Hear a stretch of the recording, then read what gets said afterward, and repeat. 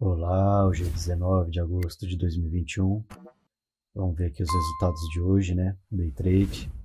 Agora é 11h35. A gente já costuma parar aí antes do meio-dia, né?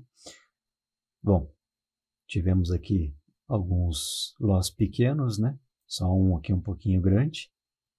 No mais, fechamos aqui positivo. Opa, sempre erro, não sei porquê aqui poucas operações, né? É, é, claro, quanto menos, melhor. Mas nem sempre dá certo assim, né? Aqui só teve um pequeno loss, ó. Então, dia positivo aí nas duas contas. Belezinha? Valeu!